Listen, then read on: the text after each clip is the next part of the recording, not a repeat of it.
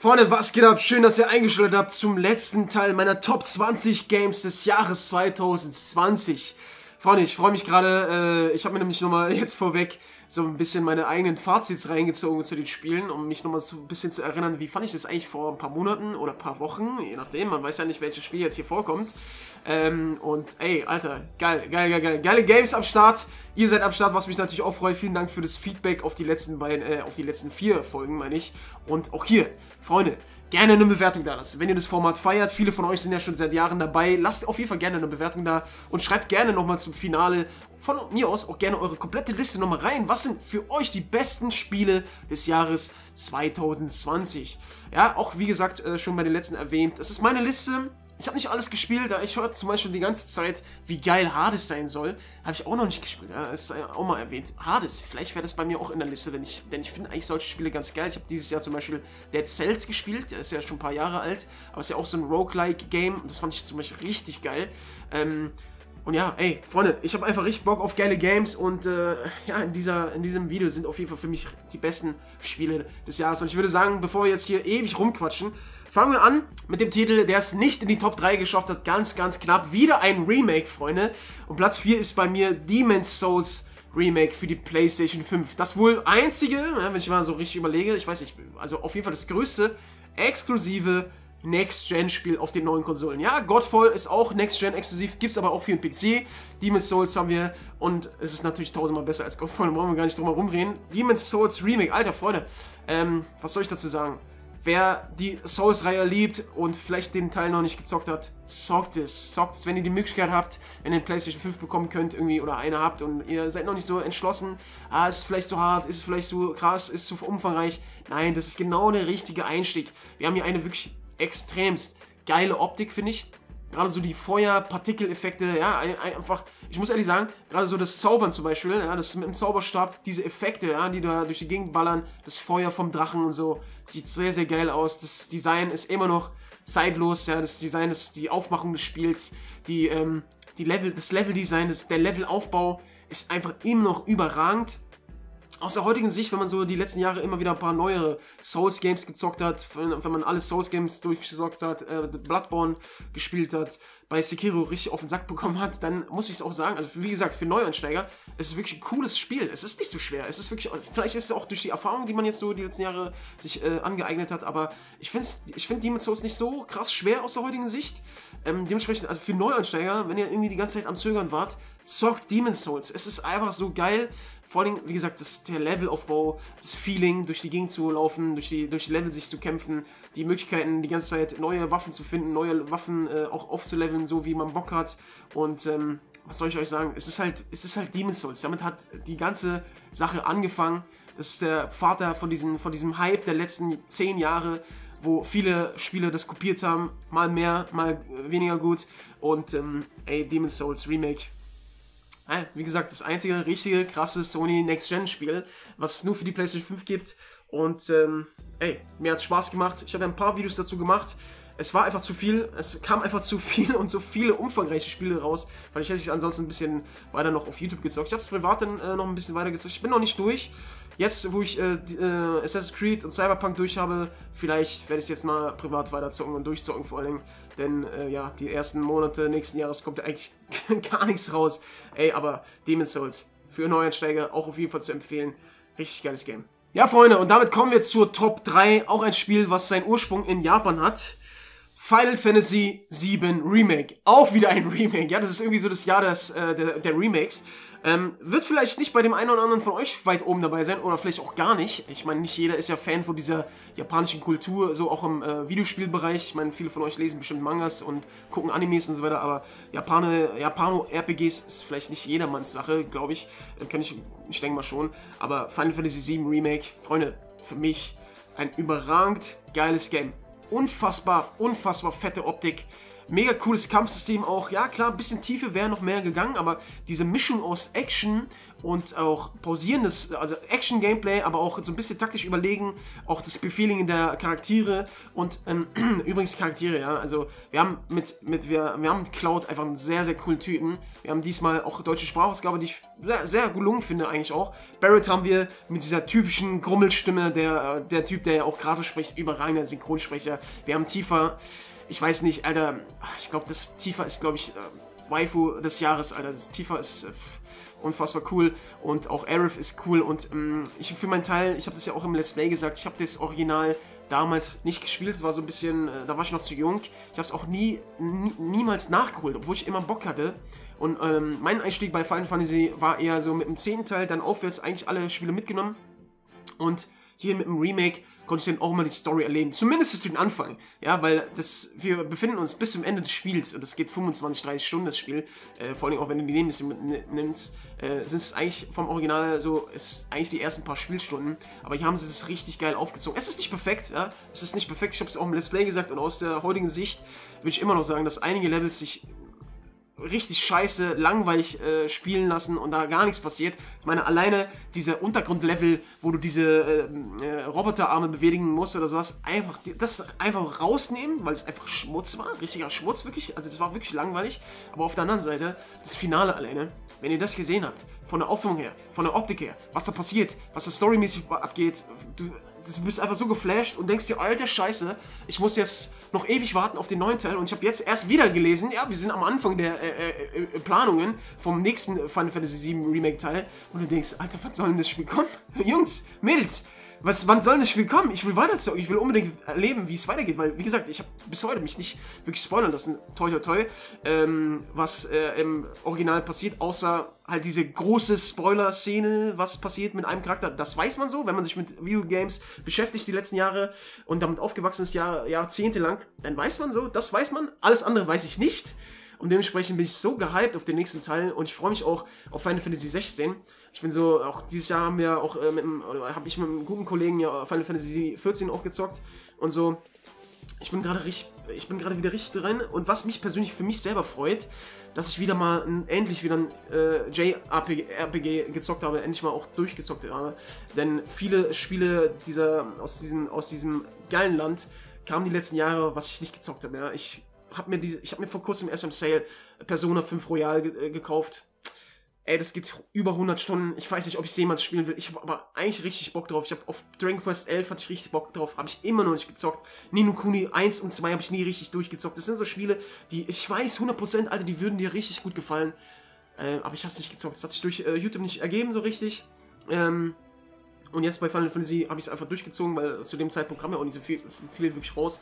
Und es hat mir einfach Spaß gemacht. Mann, Final Fantasy 7 Remake mit den Charakteren, mit der Beziehung zwischen den Leuten, was da so storymäßig erzählt und was da storymäßig passiert. Und wie gesagt, auch alleine, alleine wirklich die Bombast-Optik mit der Musikuntermalung, Alter, in seinen besten Momenten. Ich habe das schon, ich habe das auch im Let's Play am Fazit gesagt, ich habe mir das vorher nochmal reingezogen. Äh, wie gesagt, gerade dieses Fazit. In seinen besten Momenten ist es so 10 von 10 mäßig, was da passiert, was da storymäßig abgeht. Du bist richtig geflasht. Vor allem, wie gesagt, wenn du nicht die Original-Story kennst von damals. Alter, geil. Ich freue mich extremst auf den nächsten Teil und ich hoffe, wie gesagt, die nehmen dann so diese Abschnitte raus, wo gar nichts passiert, wo nichts zum Beitrag der Story passiert, was langweilig ist auch. Wie gesagt, diese Abschnitte in, in, in, diesem, in diesem Untergrundtunnel da, mega langweilig. Würde ich auch heutzutage, also heutzutage, ja, ein paar Monate später halt immer noch sagen, das war wirklich einfach übelst langweilig und scheiße, weil sich das so ein bisschen gezogen hat. Also drei, vier Stunden kürzer das Spiel und es wäre äh, es wäre noch viel besser, weil das waren so Abschnitte, die haben so ein bisschen so, so einen kleinen Downer reingehauen, weil du, weil du halt eigentlich zur nächsten geilen Story-Szene kommen wolltest. Und was man auch sagen muss, ich habe alle Nebenmissionen gemacht, auch die kann man sich eigentlich sparen, weil die wirklich allesamt übelst lame waren, aus meiner Sicht zumindest. Ähm, bevor ich mich jetzt wieder im Kreis drehe. Platz 3, Final Fantasy VII Remake. Platz 2, Freunde, ist bei mir Ghost of Tsushima. Freunde, was ein überragendes Game. Was ein überragend geil durchdesigntes Game. Wir haben mit Jin Sakai einen wirklich sehr, sehr coolen Charakter, wo äh, wir seine Story erleben, wo wir ihn begleiten auf dem Weg zwischen Gut und Böse, aus seiner Sicht Ehre oder Nicht-Ehre, diese ganze Sache, äh, wie, wie das Ganze beschrieben wird. Und das habe ich auch im, in dem Let's Play gesagt, ja, oder allgemein im Fazit, auch im Review. Diese, dieses Feeling, was dieses Spiel gibt, durch diese überragende Optik, ja, das war wirklich für mich so der, einer, einer der, also es ist vielleicht, vielleicht das bestdesignste, die bestdesignste Open World dieser Konsolengeneration, der letzten Konsolengeneration, keine Ahnung, kann man das so sagen? Weil es, also die Welt ist so schön designt, dieses Feeling, dieser, dieser, dieser, dieser, dieses Zusammenspiel aus Musik, aus Optik, aus Design der Welt und ähm, das ist wirklich einfach schön. Es was soll ich sagen? Es, es sieht einfach mega geil aus. Die Reise von Jin und auch die Story, die nimmt immer mehr Fahrt auf. Gerade so das Finale, wo du dich dann, wo du dich dann wirklich entscheiden musst. Willst du dein Volk retten? Willst du deine Ehre behalten? Musst du gegen deine alten äh, Sachen, also die, die, diese alte Lehre, die du von deinem Vater, von deinem Onkel mitbekommen hast, willst du die einhalten?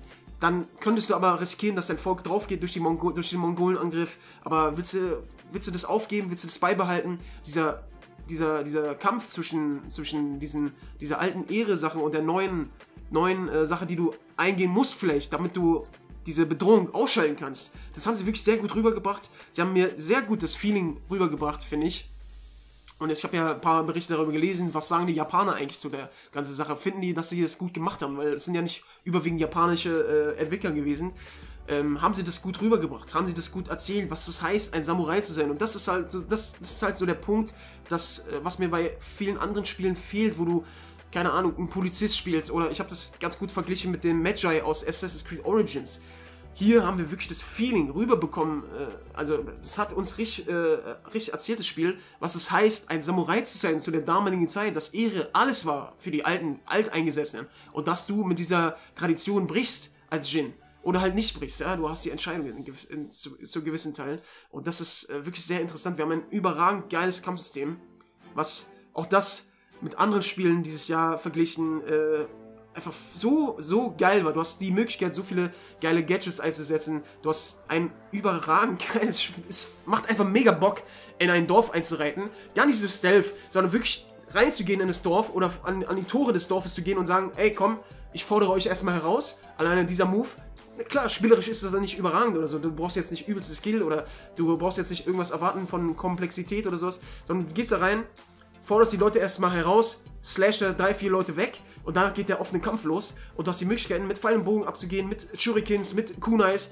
mit deinem übelst geilen Katana-Schwert und die Leute nacheinander auseinanderzunehmen und es macht einfach Bock. Es macht einfach Bock. Auch nach 20 Stunden hat das Gameplay einfach immer noch richtig, richtig Bock gemacht. Die Nebenmissionsstränge äh, mit den Charakteren, viele coole Charaktere dabei. Ja, ich meine, äh, ich weiß gar nicht mehr, wie hieß der, wie hieß der Lehrer, der ähm, äh, seine Schülerin verloren hat. Ähm, hier, die, die ihre Familie verloren hat. Ich, ach, diese Namen, ich um Namen immer, weißt du. Ah, geil. Äh, war geil, war nice erzählt. Hätte man ein bisschen besser noch machen können. Ja, ich bin jetzt der allergrößte Fan davon, von der Storyline am Ende der Nebencharaktere. Ich, find's aber, ich aber richtig geil, dass du im ersten Akt kennengelernt hast und deren Storylines im dritten Akt des Spiels beendet hast, dass sie dich begleitet haben, dass du wirklich das Gefühl hattest, du baust eine Beziehung zu denen auf, die kommen dann mit in die finale Schlacht oder halt auch nicht, je nachdem, wie du äh, dich entschieden hast oder wie du gehandelt hast, ob die Storylines zu Ende gemacht hast oder nicht. Und ey, das Design des Spiels, ey, da, da gibt es keine Zweifel, dass es einfach überragend aussieht und dass das, glaube ich, wirklich nochmal alles, alles rausgequetscht hat aus der PlayStation 4 und ähm, ey, mega geiles Game. Ich freue mich extremst auf den Nachfolger. Es hat sich ja sehr, sehr gut verkauft. Es hat sehr, sehr gute Bewertungen bekommen. Es hat eine coole Story, es hat einen coolen Charakter. Und wie gesagt, das, was mir bei anderen Spielen fehlt, sie haben die Welt wirklich sehr gut erklärt. Und auch Jin Sakai, die Entwicklung von ihm, sehr gut. Sehr, sehr gut. Es hat einfach Spaß gemacht. Also wer das Spiel noch nicht gespielt hat, für mich persönlich eins der besten Spiele des Jahres. Auf jeden Fall, auf jeden Fall. Ja, Freunde, und Platz 1, jeder soll das mittlerweile wissen. Viele von euch haben sich das bestimmt auch gedacht. Für mich persönlich das beste Spiel des Jahres, Last of Us 2. Ja, es hat sehr viele Kontroversen gegeben um das Spiel, durch die Leaks und durch die Entscheidung, die die Entwickler getroffen haben, storymäßig. Ich persönlich habe das ja in meinem überlangen Review-Video schon erwähnt. Ich persönlich kann damit leben. Ich bin nicht 100% zufrieden. Ja, auch Monate später würde ich nicht sagen, dass das die allerbeste äh, Variante gewesen ist, wie sie es erzählt haben. Dass sie es erzählt haben, was da passiert ist, ich will jetzt nichts spoilern. Die meisten von euch wissen sowieso, worum es geht, eigentlich also im, im Kern, was ich meine, genau, der Anfang gerade so. Ich kann damit leben, dass sie es getan haben, wie sie es getan haben und so. Darüber lässt sich gerne streiten, aber für mich persönlich habe ich mit Last of Us 2 ein Spiel bekommen, was also mich zum Nachdenken gebracht hat, worüber man mit vielen Leuten diskutiert hat und das ist wirklich, das, das muss man dem Spiel lassen. Es hat sehr viel, also es hat für sehr, sehr viel Gesprächsstoff, ge, ge, ähm, äh, wie nennt man das, gesorgt. Ähm, ob jetzt negativ, ob es äh, positiv, für mich persönlich positiv. Ähm, das Gameplay hat sich auf jeden Fall im Vergleich zum Vorgänger verbessert. Es ist nicht das allerbeste Gameplay, also das möchte ich auch mal sagen. Es ist nicht das allerbeste Gameplay, es ist auch nicht das allerbeste Loot-System oder sowas, aber es macht einfach Spaß, sich weiter aufzubauen. Es macht mehr Spaß zu kämpfen, finde ich persönlich. Die Animationen sind auf dem absoluten Top-Level. Ich, ich, mir fällt jetzt auf Anhieb kein Spiel ein, was die Charaktere realistischer wirken lässt als hier Last of Us. Also die Animation, die Gesichtsanimation, vor allen Dingen die Gesichtsanimation. Alter, das hat mich teilweise in gewissen Momenten, in gewissen emotionalen Momenten nur durch die Mimik der Charaktere so gekickt. Ey, wenn man, wenn man genau wissen will, was ich jetzt meine, muss man sich die Review reinziehen. Ich will jetzt niemanden spoilern oder sowas, aber gerade so eine der letzten Cutscenes zwischen zwei Charakteren, ich habe das auch im Video erzählt, ich habe das in den Reviews, in, in, im, im Video selbst und in den Review, glaube ich, auch erwähnt nur durch die Cutscene, durch die, durch, dieses, durch die Mimik des Charakters, dass er fast anfängt zu heulen und so weiter, alles hat mich richtig gekickt und es hat mich wirklich mitgenommen. Ich finde das Spiel auch aus der heutigen Sicht ein Ticken zu lang. Gerade so der Abby-Abschnitt ähm, ist, ist schon Ticken zu lang, finde ich allgemein. Das Spiel könnte mal 3, 4, 5 Stunden vielleicht sogar kürzer sein, ein bisschen, bisschen geraffter noch, aber in seinen stärksten Momenten, Alter, muss ich sagen, also, also teilweise, was da abgeht, storymäßig, überragend, überragend teilweise. Nicht 100% perfekt, so. Ich würde niemals sagen, dass das Spiel perfekt ist, auf keinen Fall. Ähm, auch Abby, äh, so die Entwicklung zwischen den beiden, zwischen ähm, Ellie und Abby und so der ganze Werdegang zwischen den beiden. Wie entwickeln sie sich? Was ist deren Charakterentwicklung? Ähm, ich persönlich, für mich persönlich hat es funktioniert. Es hat geklappt dass mich das überzeugt hat, dass mich das vor allen Dingen unterhalten hat und äh, mitgenommen hat in seinen besten Momenten. Und ey, das ist ein Spiel, äh, von mir aus, ey, wenn ihr nicht damit cool seid oder sagt, ey, nee, für mich hat das nicht funktioniert, wie sich, äh, wie die Entwickler die Entscheidung getroffen hat. Aber man muss einfach lassen. Optik, Grafik, unfassbar geil, da kann man nichts dran ermäkeln. Es geht einfach nicht. Die musikalische Untermalung wieder überragend. Ähm, wie gesagt, die Animation geil. Gameplay geht noch besser, es geht noch besser, ja, und die KI auch teilweise der Gegner geht noch besser so, aber da haben sie sich im Vergleich zum Vorgänger äh, verbessert die Charaktere, die um Ellie drumherum sind, Dina und so weiter, finde ich sehr, sehr gut geschrieben. Die Dialoge zwischen den beiden und äh, zwischen den ganzen anderen Charakteren. Ey, mir hat das Spaß gemacht. Mir hat es einfach Spaß gemacht. Es ist einfach ein Spiel, was ich finde, im, im, äh, im Zusammenhang mit dem ersten Teil sollte man das gezockt haben, zumindest mal. Oder sollte man sich das zumindest mal reingezogen haben, diese beiden Spiele, denn sie haben wirklich eine. eine die haben wirklich coole Charaktere geschaffen, eine coole Welt geschaffen und ey, das Spiel, ich werde auf jeden Fall die nächsten Jahre noch dran denken. Spätestens, also mindestens bis zum dritten Teil. Der, der kommen muss. Der kommen muss, ohne jetzt irgendwas zu spoilern, aber ey, Ey, für mich persönlich das beste Spiel des Jahres. Was soll ich sagen? Ich, wie gesagt, ich habe da, ich habe glaube ich eine Dreiviertelstunde nur ein Review-Video gemacht.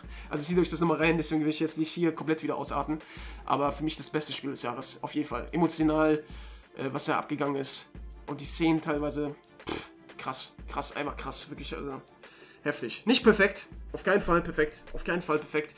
Und ähm, äh, Spiel, was dieses Jahr wirklich einige, einige beschäftigt hat, denke ich mal. Ob jetzt positiv oder negativ, das muss man dem Spiel auf jeden Fall lassen. Es hat äh, polarisiert und ähm, ey, für mich aber bestes Spielerlebnis des Jahres. Bestes Spielerlebnis des Jahres, auf jeden Fall. So, das war meine Top 20 des Jahres. Nochmal zur Erinnerung. Platz 20 Fall Guys, Platz 19 One Piece Pirate Warriors 4, 18 Neo 2, 17 Sackboy A Big Adventure, 16 Dreams, 15 Doom Eternal, 14 Dragon Ball Z Kakarot, 13 Gears Tactics, 12 Marvel's Avengers, 11 Call of Duty Black Ops Cold War, 10 Resident Evil 3 Remake, 9 Crash Bandicoot 4, 8 Assassin's Creed Valhalla, 7 Mafia 1 Remake, 6 Cyberpunk, 5 Spider-Man Miles Morales, 4 Demon's Souls, 3 Final Fantasy Remake, 2 Ghost of Tsushima und Platz 1 Last of Us 2. Ich habe ja schon am Anfang des ersten Videos gesagt, für mich ist es nicht das beste Spielejahr. Auch wenn ich jetzt nochmal Revue passieren lasse und wenn ich mir so die Spiele reinziehe, welches Spiel, wo, welche, zu welchen Spielen würde ich sagen, Alter, das muss man gespielt haben. Zu den wenigsten, wirklich so, wo ich sagen muss, Alter, das ist wirklich, Alter, das sind Spiele, die musst du gezockt haben. Ähm, davon gibt es natürlich aber auch natürlich im Jahr relativ wenige. Also im, im Großen und Ganzen ist es schon, wir haben schon ein paar coole Games und wie gesagt, ich habe ja nicht alle Spiele des Jahres so gespielt, die cool waren. Ähm, Aber wir haben schon bessere Spielejahre gehabt, so gerade auch so Next-Gen-Sachen, äh, Spiele, die dich so richtig begeistern. Durch die Next-Gen haben wir wenige gehabt. Klar, viele Spiele sind besser gewesen auf der Next-Gen. Spider-Man hat davon profitiert natürlich. Demon's Souls haben wir als Next-Gen-Spiel. Und auch Assassin's Creed natürlich hat mehr Bock gemacht auf der Next-Gen-Konsole als auf der alten. Aber so so das richtige Next-Gen-Feeling ist zum Beispiel noch nicht eingetreten. Ich weiß nicht, wie es euch geht. Vielleicht hatten bei, viele von euch auch Pech gehabt, dass sie keine abbekommen haben, PlayStation 5 oder Xbox One, äh, Xbox Series X meine ich. Ähm, aber so das richtige Next-Gen-Feeling zum Beispiel hat gefehlt.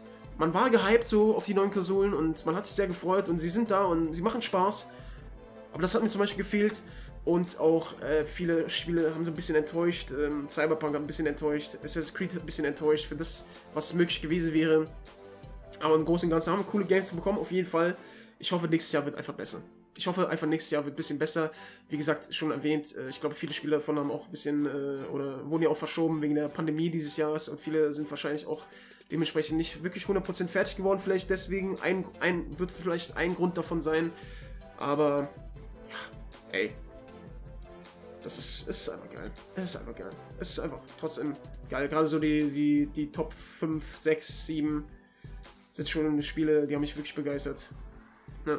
Also, Freunde, das war's. Danke fürs Zusehen. Ähm, ja, checkt auf jeden Fall auch die Most Wanted Liste ab. Die wird wahrscheinlich äh, schon am Start sein, wenn äh, dieses Video äh, erscheint.